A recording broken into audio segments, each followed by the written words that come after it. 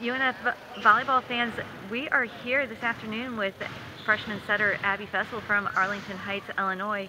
Abby is one of eight newcomers to the Ospreys 2013 team.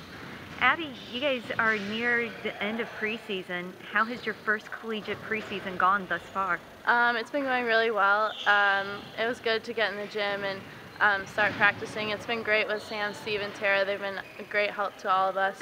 Um, it was really good coming in with eight new people. I think that helped us a lot, but also the older girls were really great to play with. Now, what are you looking forward to with this upcoming season, which starts in a week from today? Um, I'm really excited to start playing games and um, wear the Osprey uniform.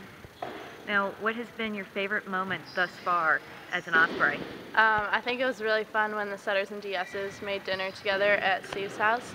Um, that was like one of the first, the first dinner, and um, it was really fun. It was a good way to get to know everyone and kind of have some fun outside of the gym. How was the dinner preparations? Uh, it was good. We made some chicken and uh, uh, salad, and it was really fun. It was good. Well, Abby, thanks, and we will see you tomorrow with the blue and gray scrimmage. Absolutely.